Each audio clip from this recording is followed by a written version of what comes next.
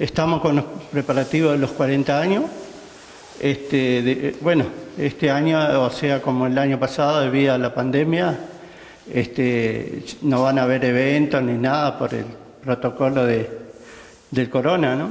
Así que el día lunes va a estar eh, todo lo que sea intervención callejera, se va a llamar.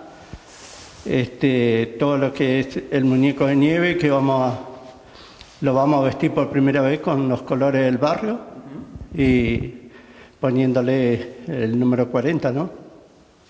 Así que los chicos están en ese preparativo.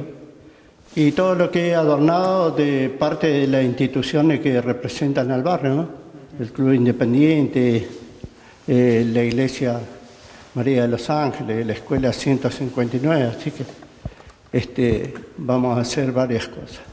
Estamos recibiendo acá en ACE o en el Club Independiente todo lo que sea el vecino que quiera colaborar con un globo o algo de color negro y, y este rojo que representan al barrio, bueno, bienvenido, lo esperamos acá.